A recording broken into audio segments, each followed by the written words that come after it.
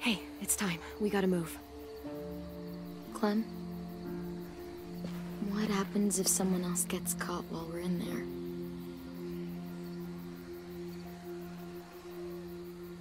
What if it's you?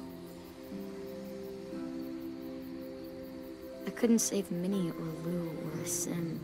Omar. I, I...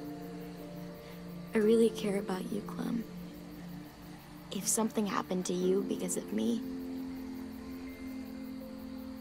I can't lose you too. I won't.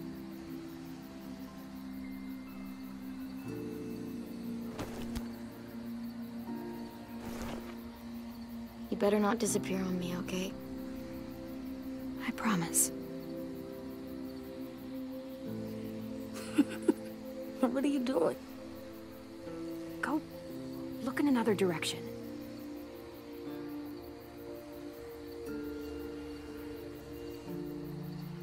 Are we good? Yeah, I think